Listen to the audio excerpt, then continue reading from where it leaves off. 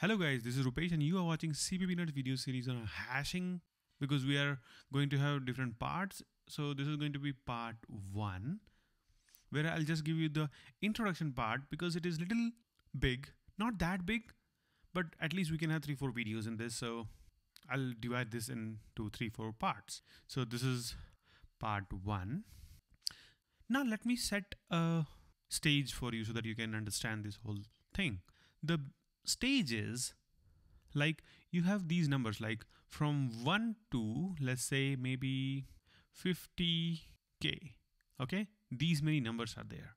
Randomly available numbers in an array okay? And if i tell you whether just search maybe this 2536 this number is available in this array or not you have to search this entire array and the complexity would be order of n. Correct?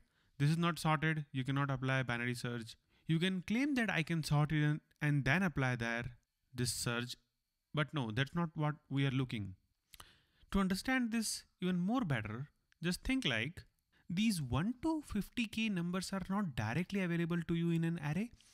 They will be coming from some stream or some function or some thread to you you are here and they are coming okay? Or they are getting just generated in this loop or somehow some randomly some numbers are coming. So you have this data like in mixed form 31 maybe 100 maybe 1k and then maybe 2 comma 1 so like this data is scattered. And if i tell you like search maybe 50k then if 50k is available in the end maybe this is the whole list and 50k is in the end just assume, then you have to search this whole array. That's not what we are looking for. Is there any way we can map this 1 to 50k data in a smaller group or smaller clusters so that if I tell you that, okay, you have to search 2, then you instantly know that 2, okay, I'll get that in this cluster or in this cluster or in this cluster. Just by doing some operation on this 2, you should be able to know, okay, where I should have stored 2 if I had to, where this 2 would go. Okay, then it's like we can break this whole very bigger list into smaller, smaller chunks. And then let's suppose if I'm telling you just in case this is 0, 1, 2, 3 and 4. They are just index. Okay. They are just index. And if I tell you, okay, 2, no, look, don't look at this 2. 2 is very simple. Let's look at this 31. And I told you, right? Whenever I ask you like do you have 31 you will get that 31 and somehow you will do some operation on this and you will get that index where you have to search this 31 whether I do have it or not. Then that operation could be very simple that let's suppose I am doing this with this mod of 10 whatever the answer is answer is going to be obviously 1 then I will store this 31 inside this one index. So I'll have this 31 here. That's it. Like this, I'll keep storing this whole data. Like 25, 25 modulo 10 is going to store into this fifth index cluster. So this cluster is not there. So we'll store this into fifth cluster. And this is 100, right? So 100 modulo division 10 is going to be 0. So I'll store this 100 here. Now, this is storing part. When you was getting data, you stored all these data into these different clusters. Now, if I ask you, dude, do you have 25? Get me 25. Then you don't have to search this whole list. Okay, because this 25 can be at any location in this array. But here, after doing this operation 25 modulo 10, you know the index now that where you would have stored it the index is 5. So you will directly go to this cluster and you will start searching in this and you will find that okay 25 is there. So this is what hashing is. You will map your data with some key which gets generated from your data itself okay? 25 was the data and you just generated this key so that you can store this data in this index. So this was like where you will store the data. Let me explain you with the smaller example. It will be very helpful. Now let's suppose you have 0 to 99 data okay? This is your data. And with the same technique you can have these indexes correct? Like 0 to 9 we can have so these are the indexes. Let's suppose you have 15 coming. 15 modulo division 10 answer is 5 you will store this 15 here. Now let's suppose 25 is coming. I'm taking a very typical case where you have a collision here. I'll explain collision in different video with full example like because there are different collision handling techniques but this is like the basic one so I'll go for this. So the answer is still 5.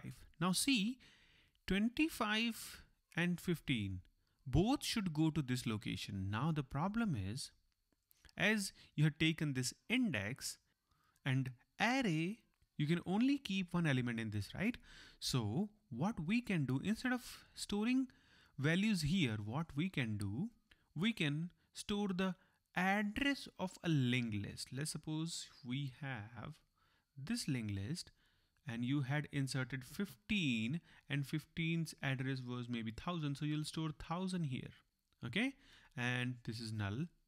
And next time 25 is coming what you will do you see that okay 25 I have to push whatever is there this is 1000 right? Initially everything is initialized with null. So here we have 1000 what you simply do, you have to insert 25, right? So 25 is a node and this data is, I mean, address of 25 is 2000, let's say, and this is null. Now what you will do, you will initialize this 1000 inside this. Okay, so this will go here. So basically you're saying 15 is getting next of 25 and 25 will come here. So basically it would look something like this okay? We have 25 inserted. 15 becomes next of that. And if maybe this time 5 is coming 5 modulo 10 then the answer is still 5 so this 5 should go at this again. So now what you will do? You will make this 25 the next of 5 okay? So it will like 5 and this guy would point this guy. And then we'll start pointing here. And let's say this is 3000 so this is how it is going to be and we'll break this link. So 3000 which is this one now 5 is pointing to 25 25 is pointing to 15.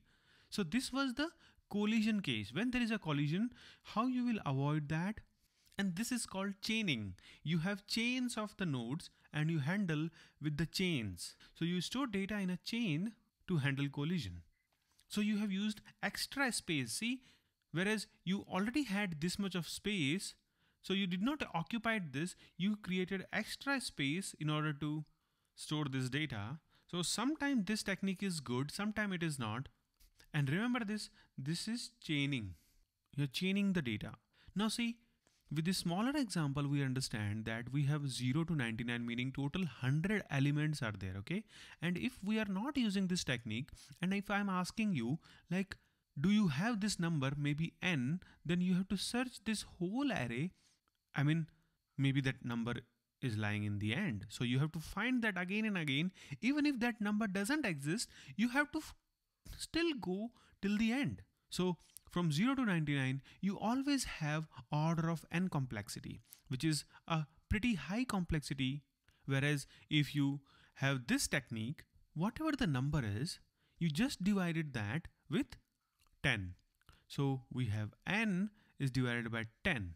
So how many numbers are there? 100. So 100 divided by 10, you just have to search 10 times at max.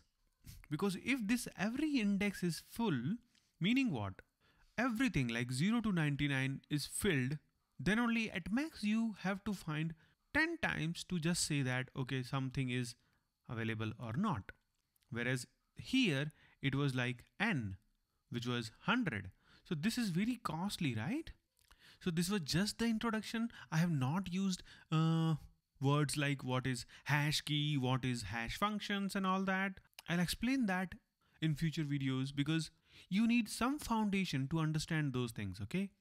And this is one of the collision de detection and avoidance technique. And we have different techniques also. We'll discuss them in future videos. So till then, take care. Bye bye. I'll see you in the next videos. Thanks for watching guys.